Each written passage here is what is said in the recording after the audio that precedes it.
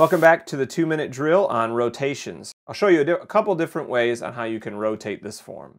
Okay, one is you can continuously create each line, which is kind of the long way. Uh, you could do them three step front to back. You could select that, control copy, then just select your lines and then move them over four steps or three steps, however you know you wanted to. It's kind of the long way.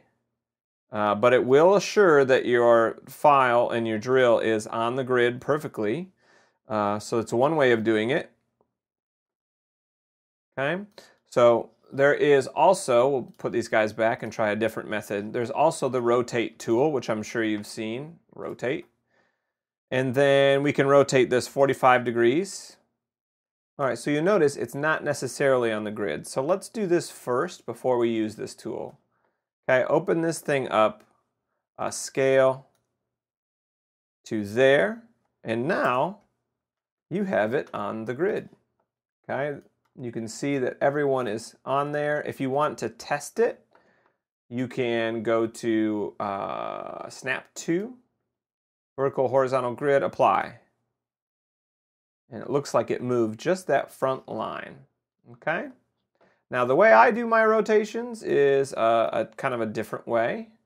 Um, I like to use the uh, the resize tool and I use slant and I'll use two-step process with slant. I'll cover them down, accept, and then I'll slant again to